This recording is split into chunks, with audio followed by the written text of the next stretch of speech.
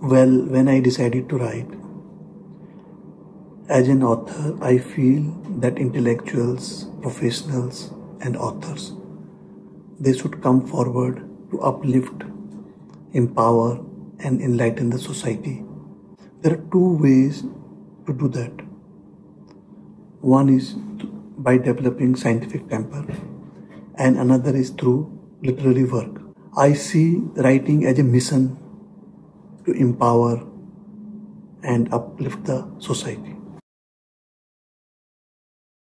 With regard to idea generation, I believe that one should be a keen observer of human behavior and its surroundings to get ideas, plots, and stories for his writing. We need to very carefully observe in conflicts within individuals and incidents happening in the surrounding or society relating to politics, economics, crimes, spirituality, psychology. I mean, say you area wise you can decide in what field you want to write, and then accordingly you can have ideas in your mind.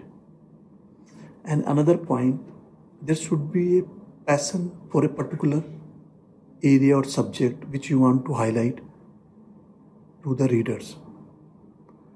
And then you work on that particular idea in that particular field and do your research to write something. My main characters are from real life. They are exploring and exposing dark sides of real world Give an example politics, media, business, society, environment, which are affecting day-to-day life of common people. Like there are two sides of coin, head and tail. Tail represents dark sides or mysteries of corrupt and criminal world. My main character, Suraj, is an investigative journalist, exposing and exploring crimes and corruption in the material world and why there is a degradation of human values, virtues, morals in the society and how spirituality can help to make this world a peaceful and better place to live in.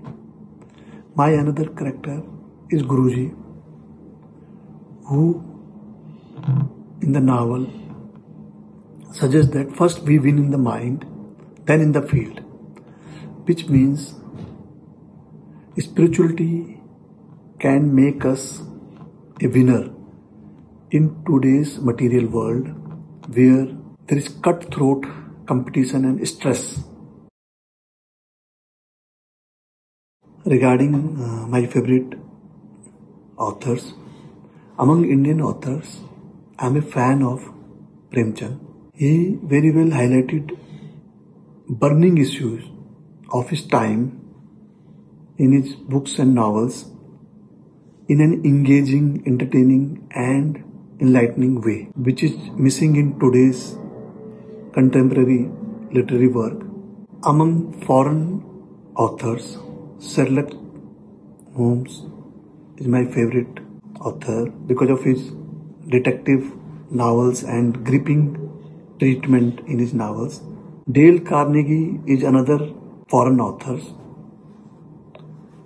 I like his books highlighting need for soft skills, which I feel is need of the hour to live a happy and healthy life. Hard skills we all talk about, but soft skills I think is required among students, professionals to know how to live a quality life. In my novels, there is a mix of everything.